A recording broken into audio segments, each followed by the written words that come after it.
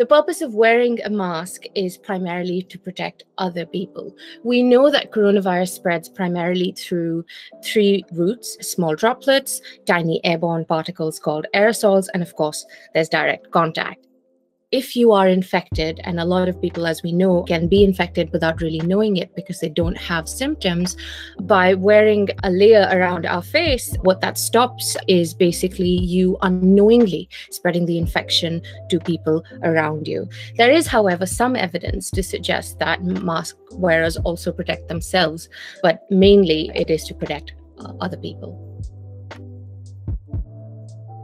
because one of the main routes of coronavirus spreading is through the air. The space we're in when we're wearing a mask is quite important.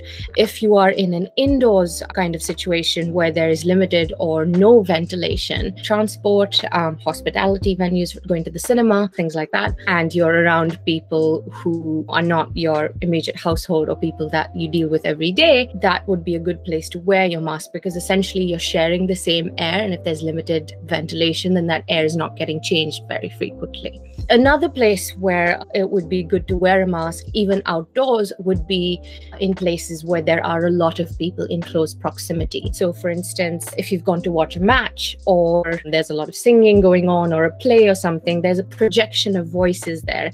And we know that when you project your voice, you're emitting a lot of, of your particles. Now, that being said, outdoors is better than indoors